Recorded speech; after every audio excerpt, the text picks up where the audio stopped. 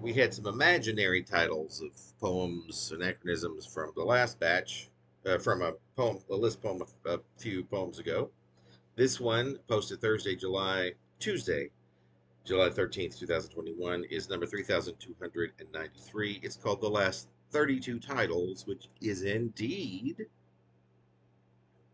And I see what I was doing here with the titles for this month.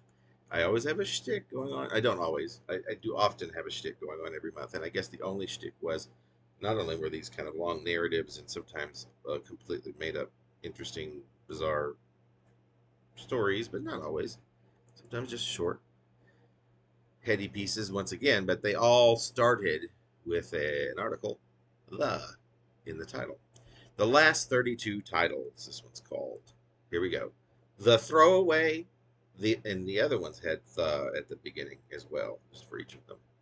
The Throwaway, the Arrangement, the Outlet, the Herculean Task, the Mystery, the Toast, the Drought, the Interview, the Park Bench, the Stump, the Draft, or D R A U G H T, drought.